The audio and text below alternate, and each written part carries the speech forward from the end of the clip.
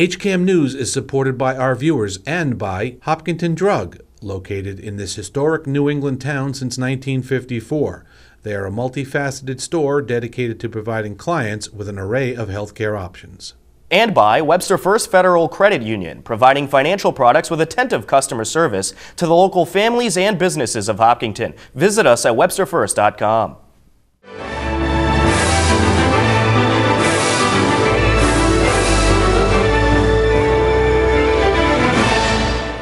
Hello, and welcome to HCAM News. Tom Nappy at the anchor desk to keep you up to date with what's happening in Hopkinton.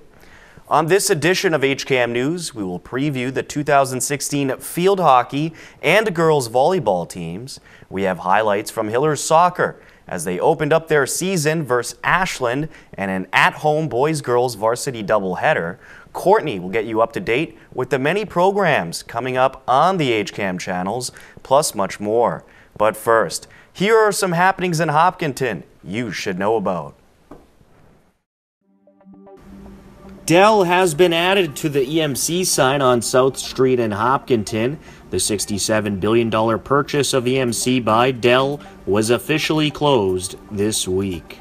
This photo, courtesy of the Hillers Athletics Twitter account, is a shot of the Hillers Fall captains after taking part in leadership training the program was put on by Core Training of Nashua. This summer, the Hopkinton Center for the Arts and the Hopkinton Upper Charles Trail Committee hosted the second annual Art on the Trail exhibit across the street from Hopkinton Lumber at the Center Trail. In case you haven't had a chance to make it down to the display, here's a look at the wonderful artwork on display.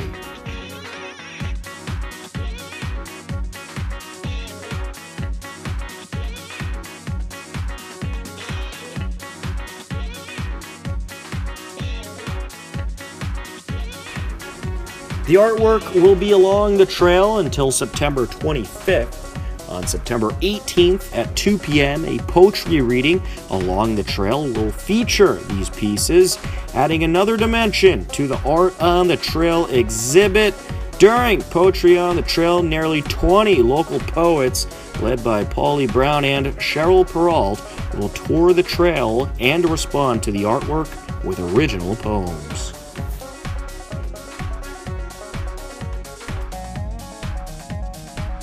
To see more from the Hopkinton Center for the Arts and the Upper Charles Trail Committee Art on the Trail display, head over to our website, hcam.tv.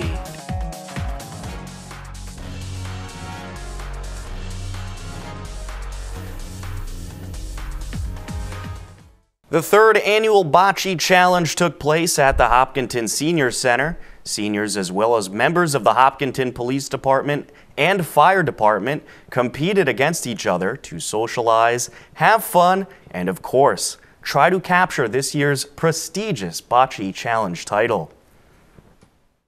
Getting that right on top of it. Yeah, look at that. Can't ask for a better shot.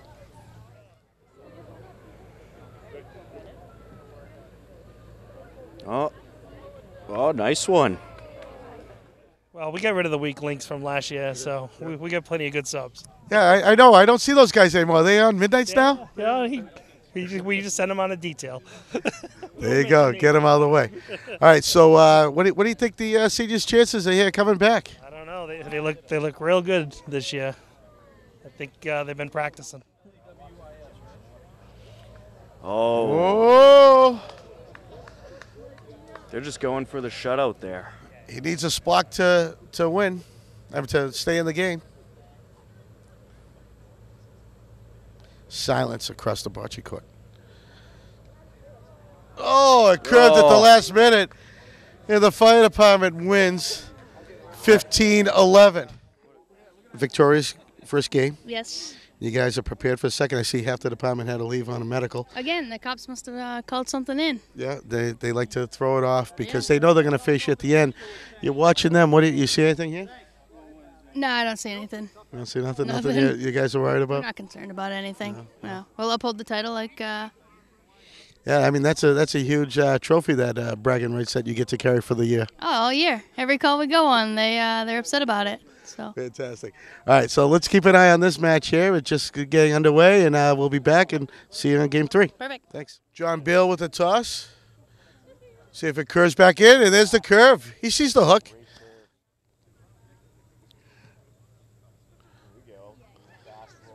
Barbara with a nice roll in the same spot.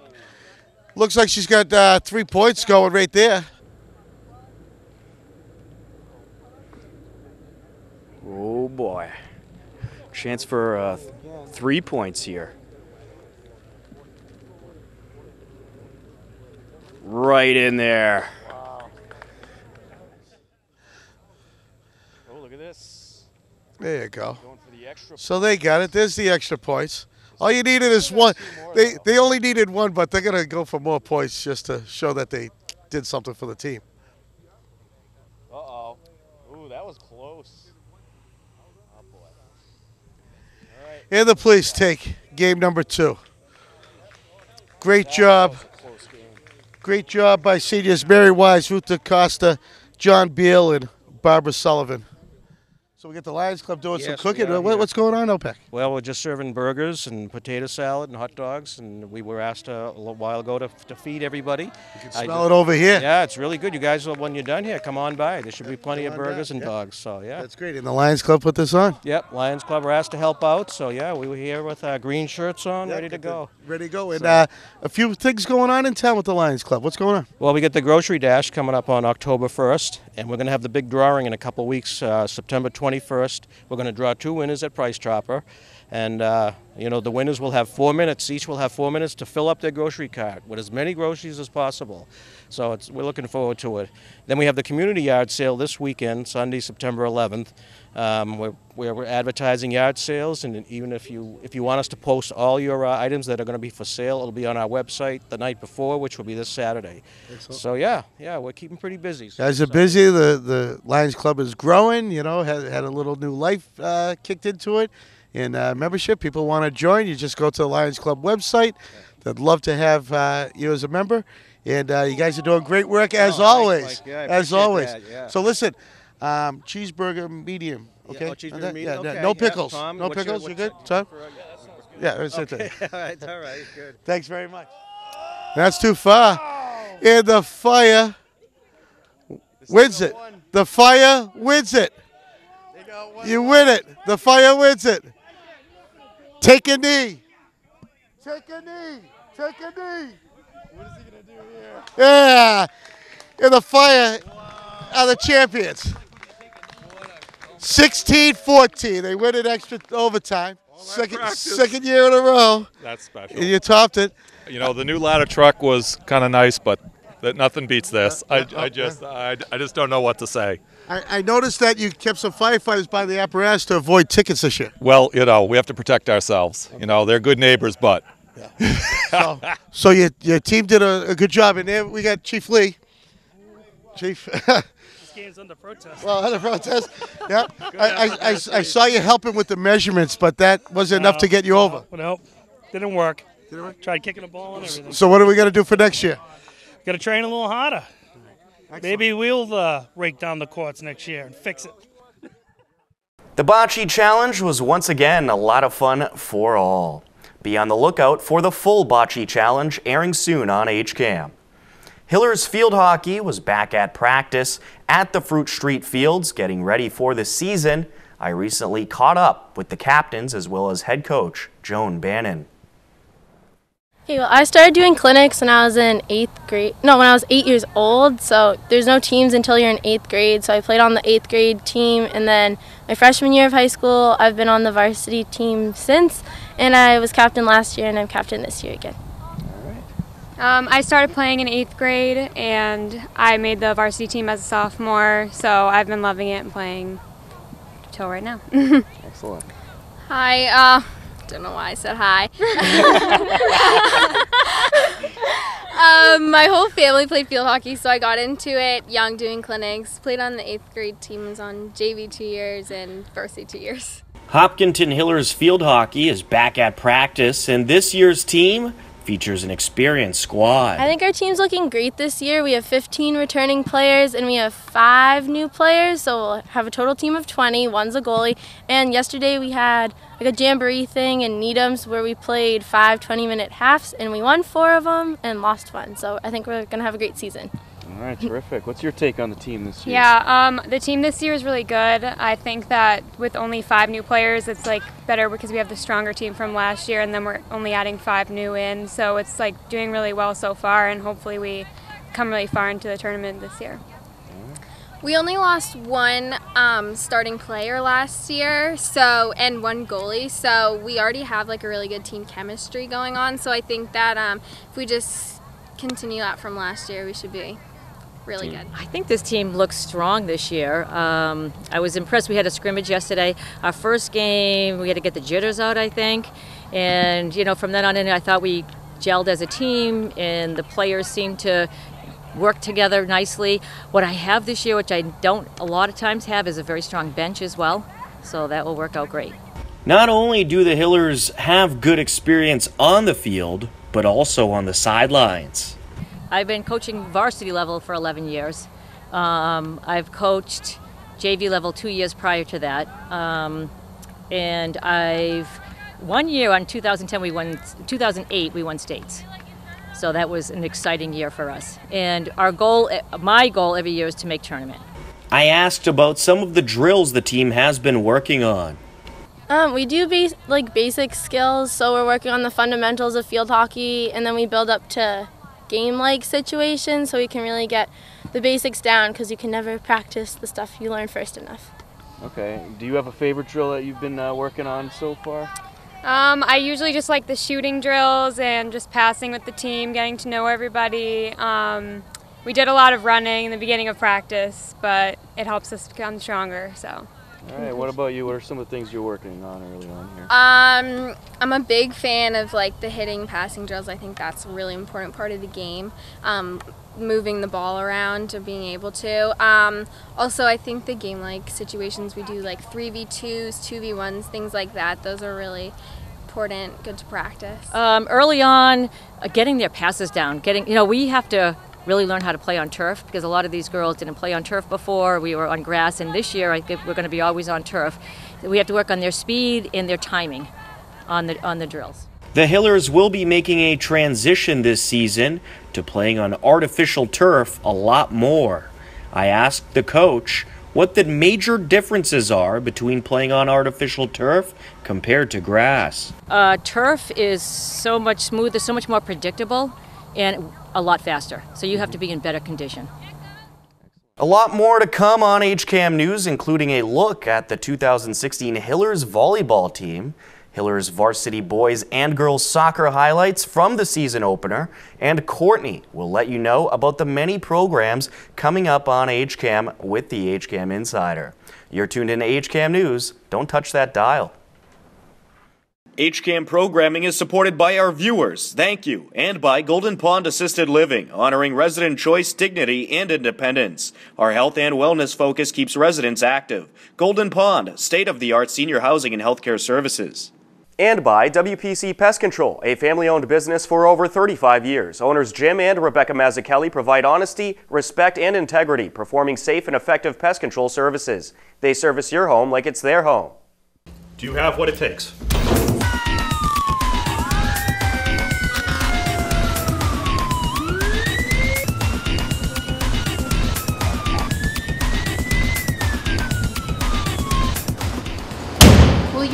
Difference?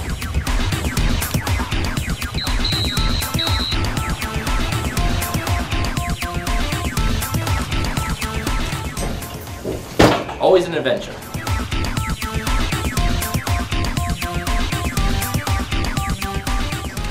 Police and fire working together.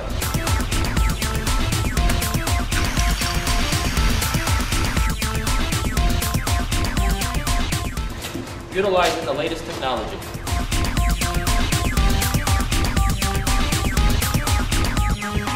Do you have what it takes?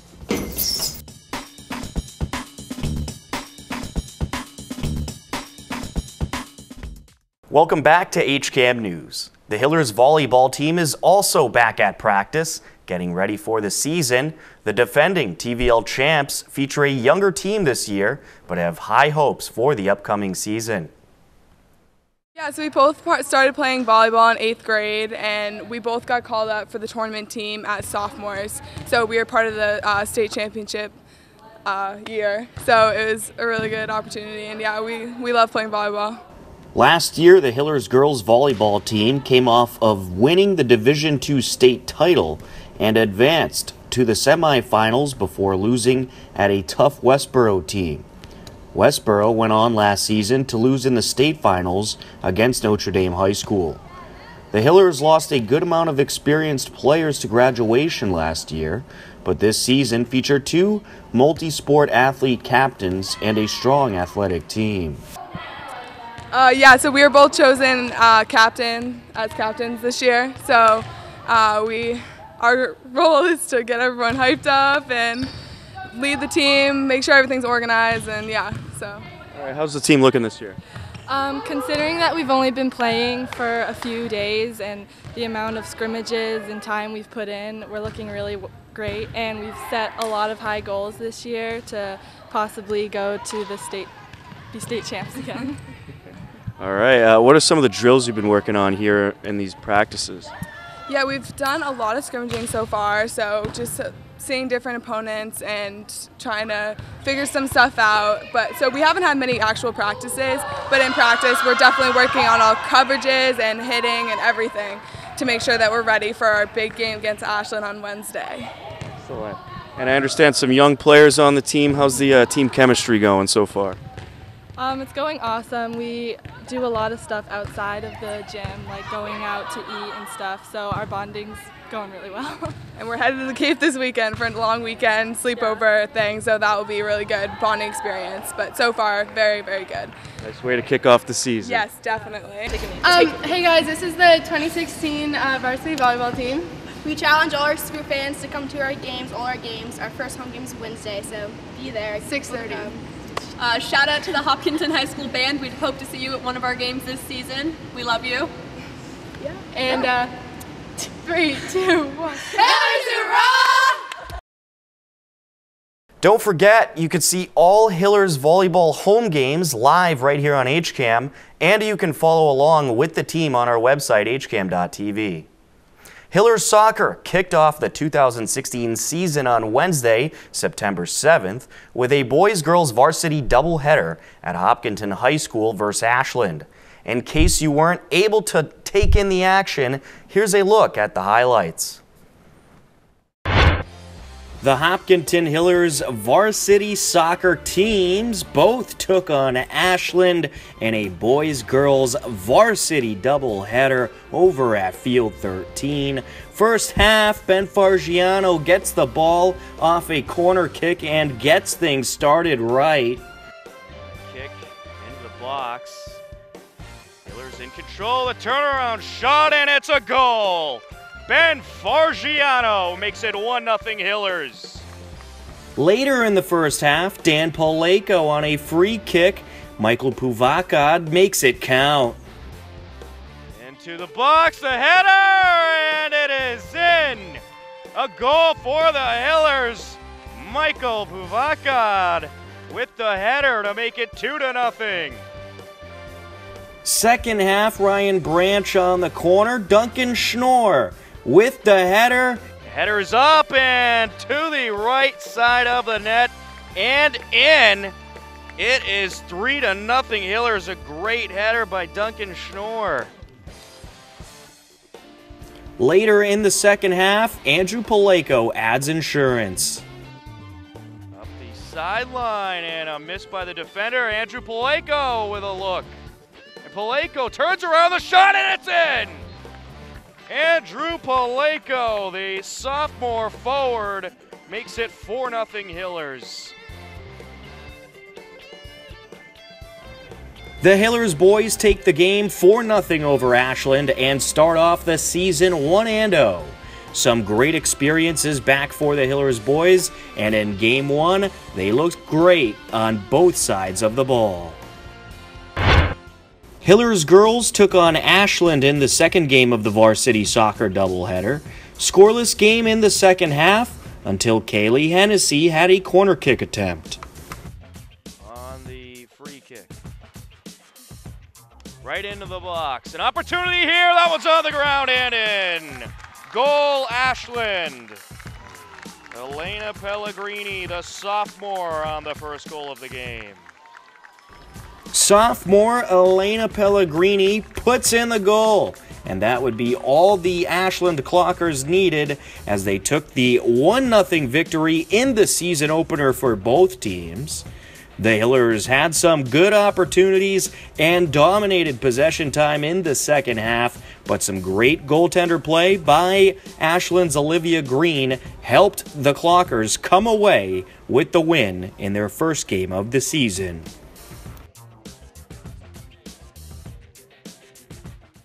Live on HCAM, Hillers Volleyball also opened up their season with a home court win against Ashland. In other Hillers sports openers on September 7th, the boys and girls cross country teams, as well as the field hockey team, opened the season with wins over Bellingham. Be sure to stay tuned to our website, hcam.tv, for the latest Hillers sports information. Believe it or not, school is back in session which means we will have a whole lot of programming coming up on HCAM. To fill you in with what to expect on the HCAM channels, here's Courtney Taylor with our HCAM Insider.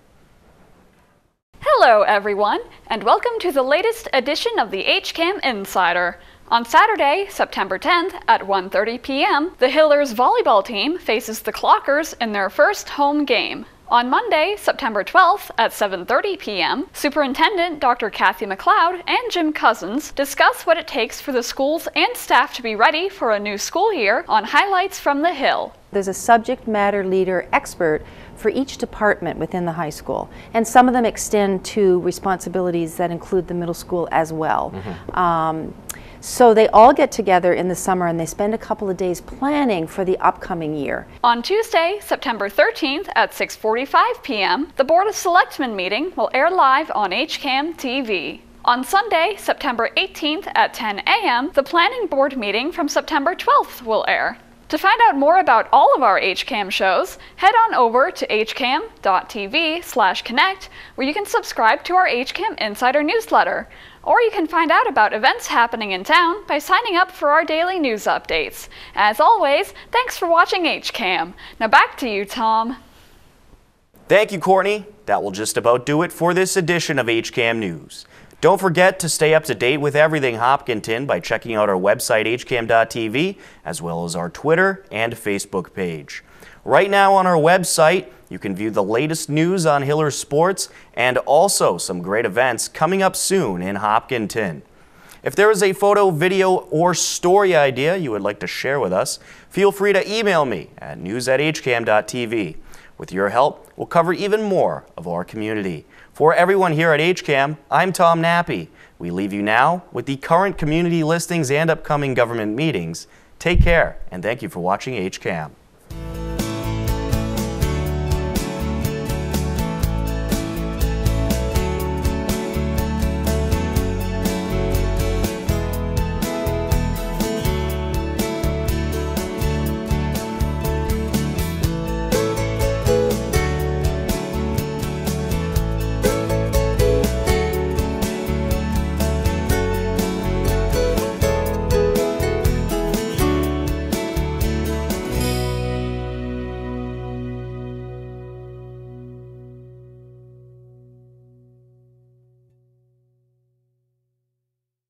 HCAM is supported by our viewers and by Blackstone Valley Wealth Management, providing highly personalized financial planning, wealth management, and customized solutions through transparent, unbiased advice.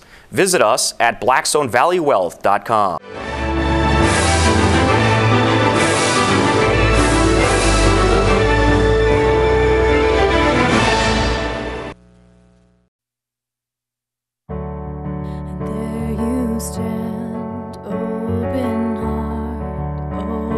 都